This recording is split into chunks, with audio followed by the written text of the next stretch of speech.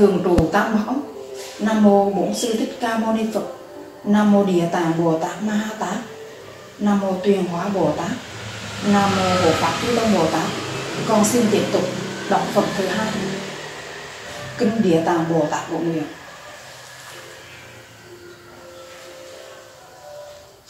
Kinh Địa Tạng Bồ Tát Bộ Nguyện phân thân tập hội phẩm thứ hai hóa thân cùng quyển thuộc. Lúc đó, phân thân của Ngài Địa Tạng Bồ Tát ở tất cả các nơi có địa ngục, trong trong nguyện bất cả tư, bất cả nguyện bất cả lượng, bất cả thuyết, vô lượng vô số thế giới đều đến hội học tại cúng trời đa lời.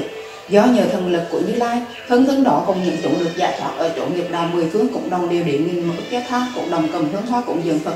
Những chúng cùng phân thân đó thay được Ngài Địa làm Bồ Tát giải hóa các trụ nơi đào vốn còn thời việc, những chúng đó từ kiếp lối xa, rồi lăn trong vòng sanh tử, chịu những sự thống khổ không hừng nhất do lòng từ bi lớn và thề nguyện sâu dài của ngài địa tạng bồ tát nên tất cả đều được đào quả đại chúng đó khi đến cúng trời đáo lời, lòng họ vui mừng hớn hở chiếm nghĩa đức như lai mắt nhìn mãi không rời.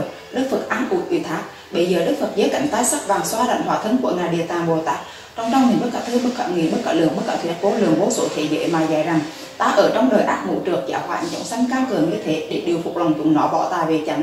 Nhưng trong 10 phần, vẫn còn một hai phần quen theo thần ác muốn hóa đồ chúng đó. Ta phải lập ra nghìn trăm ước thân, lập ra nhiều phương trước. Trong chúng sanh đó có người tăng tịnh sẵn lẻ ngay pháp của tha thời tín nhận liền hoặc có người phải khuyên bảo, mới thành tựu được hoàn cõi hoặc có người về tội nghiệp quá nặng nhưng chẳng đánh lòng tỉnh tính ngưỡng mộ. Ta phân ra nhiều thân đồ hoặc chúng sanh một một sai khác như thế. Hoặc hiện ra thân trai, hoặc hiện ra thân gái, hoặc hiện ra thân trời, rồng, quỷ thần ao ngoài, sóng thời suối.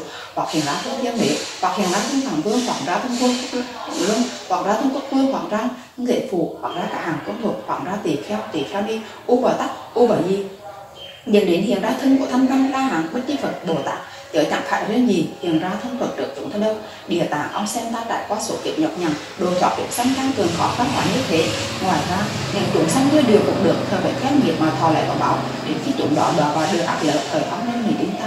Ở cung trời đáp lợi ứng cường phật trước đây mà đặng đồ chúng sanh đó, làm cho tất cả chúng sanh lúc gọi ta bà tính khi ngài đi đạt thành Phật đều đặng đồ cho cả đời phụ là Phật được Phật thọ ký. Bây giờ những hóa thân của ngài địa tạng bồ tát và tất cả các thế giới hiệp chúng là một hình rơi lệ rồi bạch cùng đức Phật rằng bất cái tôn từ kiếp lâu xa đến nay, con được thế tôn tiệc đồ rất nhiều làm cho con có thể lập chẳng thể nghĩ bằng đầy đủ trí về rộng lớn. Con phân hiện ra cùng trăm nghìn mức hàng hà sát thế giới. Trong mỗi thế giới hiện ra trăm nghìn thân, mỗi thân hóa đồ trăm nghìn mức người, làm cho quý kính của tâm bảo khỏi vòng sống tử ở vui nợ bằng trong Phật pháp nếu có chúng sanh nào làm việc lành bằng sợi lông dọn được khổ cả mãi bụi hoặc chỉ bằng sợi lông tóc, có cũng đều đối thoát lần lần làm chúng sanh đó được nghiệp lớn.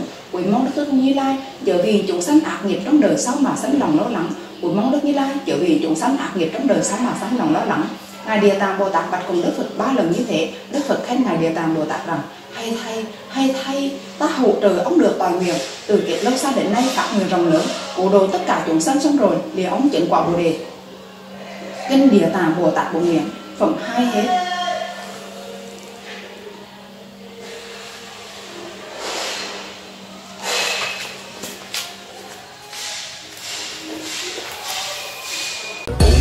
Ha ha ha.